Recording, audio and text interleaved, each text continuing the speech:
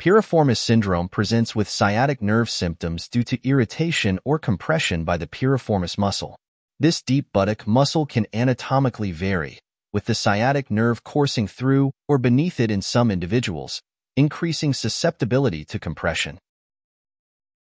Etiology Etiology is multifactorial, including prolonged sitting, repetitive hip motions, and direct buttock trauma.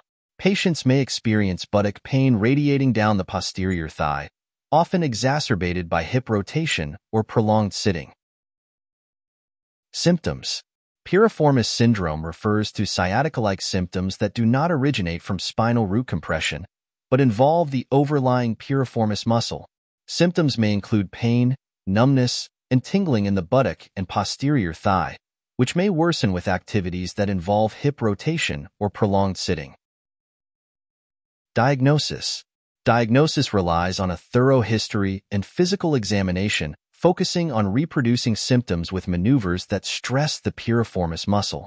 Imaging studies like MRI or CT scans may be necessary to rule out differential diagnoses such as lumbar radiculopathy or sacroiliac joint dysfunction.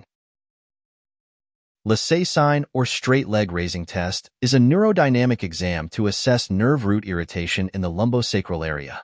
A positive straight leg raising test may indicate the presence of sciatic nerve compression due to intervertebral disc herniation or piriformis syndrome.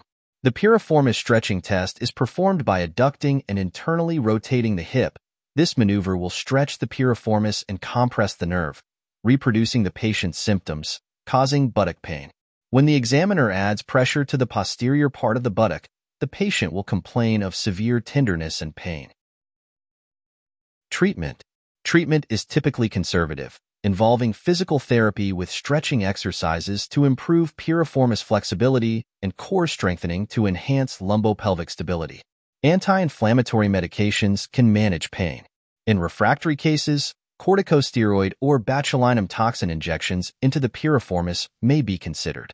Surgery remains a last resort for patients unresponsive to conservative measures.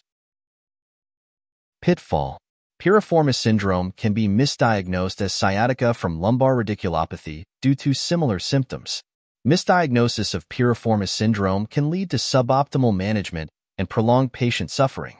It is important to conduct a thorough physical examination, use imaging studies like MRI, and monitor the patient's response to treatment to ensure an accurate diagnosis and effective treatment.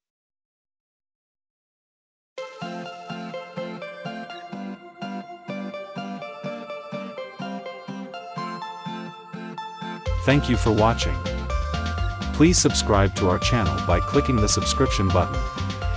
If you have any questions, feel free to leave a comment below in the comments section.